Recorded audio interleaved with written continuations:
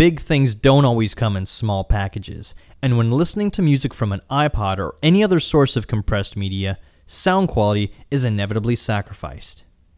That's why Pioneer developed Advanced Sound Retriever, or ASR for short.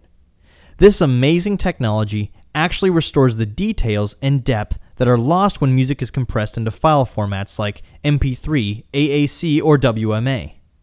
Here's a standard MP3 without ASR.